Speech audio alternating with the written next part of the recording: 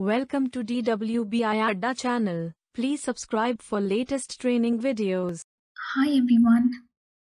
In this video, let us look at the theme and layout that is editing the user interface of the reports in Google Data Studio. I have built a very simple report on sales data. So I've taken few basic charts like pie chart, bar graph, table, and time series chart in this example. So the right panel has few color themes available. You can select any theme that you wish for your report. This is the black background theme. All the colors of the graphs change according to the theme. Can select a single color theme like the blue or green or purple.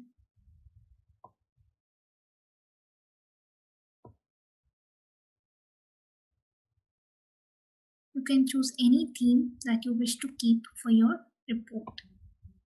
So this is all about theme.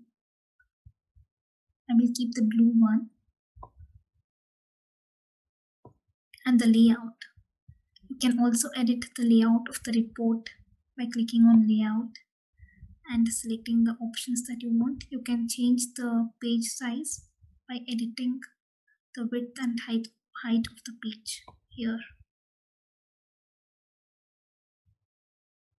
So this is about theme and layout. You can give the heading by adding a text box. You can change the background color of the text box, size and font style of the text here. Similarly, if you want to change the look of the chart, you can select on that particular chart and go to style. Select on style. You can change the colors here dimension value You can select anything that you wish to. You can edit the chart if you want to show the value. Click on value or keep it label as it is. Here I have shown the values in this pie chart. In the first pie chart I have shown the percentage. In the third pie chart I have displayed the labels. You can also change the background color and border of this particular chart and legends you can keep it anywhere side or on top or below or you can also select none.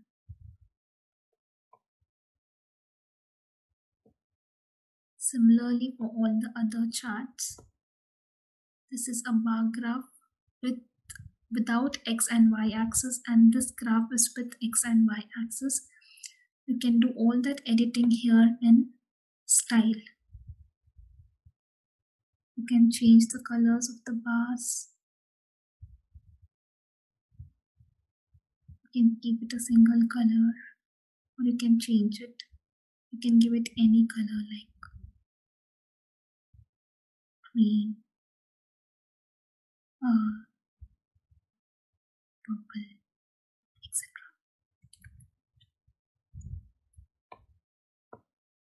And similarly for table, and for time series graph also.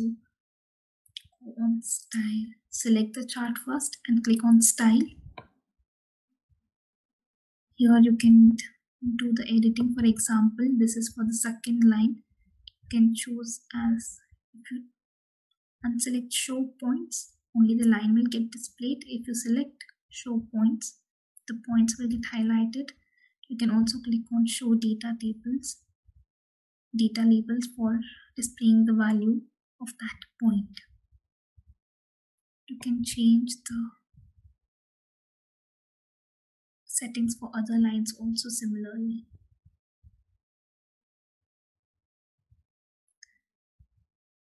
That is all about look of the charts. You can give, if you want to create a customized theme, you can also do that here uh, by selecting customize.